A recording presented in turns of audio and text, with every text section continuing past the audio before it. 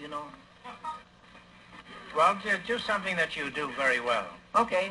Well, tonight dance, because I just done La Jarabe Tapatio.